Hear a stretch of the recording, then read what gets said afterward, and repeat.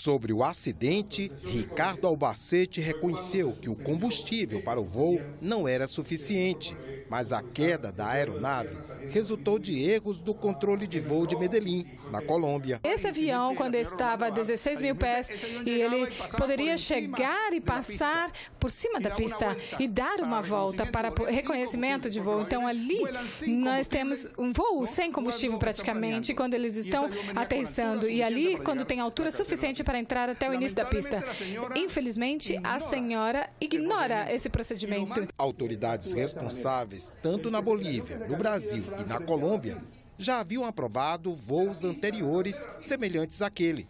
E mesmo os procedimentos adotados pela Lamia para aquele voo. Não somente cúmplices porque permitiram, mas também cúmplices por terem conivência por é, Brasil e também a, desde a Bolívia de também de ocultar tudo que foi realizado para esses voos. Albacete disse que não faz sentido a alegação de exclusão aérea feita pela seguradora da Lamia.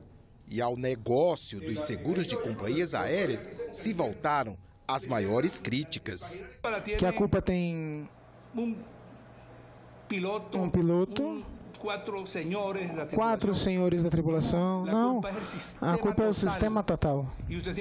E a gente tem que acordar porque isso que acontece com seguros e as normas que estabelecem as indenizações dos inocentes é algo de canalhas, é algo indigno. Não é justo. É, é, um, é uma quadrilha